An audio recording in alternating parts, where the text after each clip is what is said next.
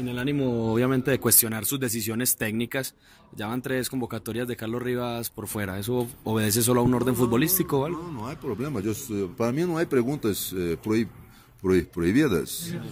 No, no estoy listo para contestar a todo. O tema de Carlos é muito sencillo. Mira, o direito eh, econômico são de eles, vai até o, o meio da eh, la metade da, da temporada, junho, menos da metade.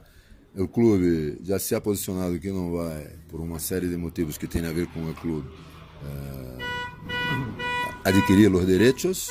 Eu ele amado a Carlos e falei com ele, mira, você tem que pensar em seu futuro e nós também. Então, eu tenho que pensar naquilo que vão ter continuidade. Então, tão sencillo como isso. É isso que é passado, é isso que vai passar. E por isso, o tema de não estar nas três não foi por opção técnica. Algo que já está definido pelo clube. Então, e a mim me gusta de ser muito claro com os jogadores e falar ojo nos ojos.